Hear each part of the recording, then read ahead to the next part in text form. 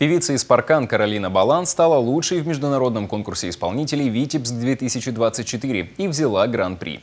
Конкурс проходил в рамках фестиваля искусств «Славянский базар» в Беларуси. Каролина Балан становится обладательницей гран-при Каролина Балан из Паркан обошла артистов из 15 стран и стала победительницей 33-го фестиваля искусств «Славянский базар».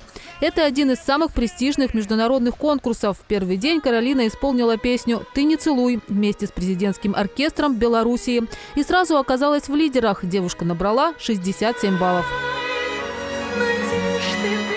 В финале Каролина зажгла под французскую песню из репертуара Лары Фабиан. Кстати, конкурс прошел в Витебском летнем амфитеатре, где собралось более 6 тысяч зрителей. Вместе с участниками вокального конкурса на сцене выступали такие звезды, как Ани Лорак, Зара и Любовь Успенская. Были и специальные гости из Приднестровья – рыбницкая группа «Доредос». На закрытии фестиваля впервые исполнили авторскую песню «Там, где любовь».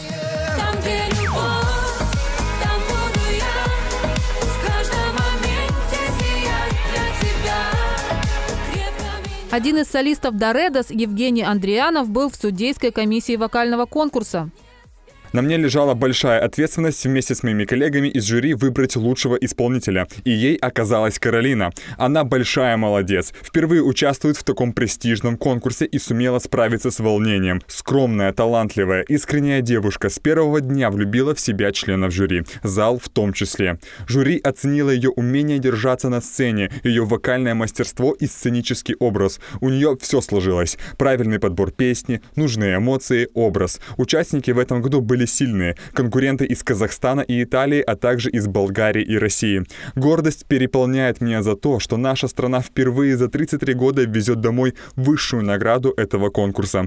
Мы с Доредос поддерживали ее всей душой. Сейчас группа Доредос и Каролина Балан по дороге домой, в родное Приднестровье.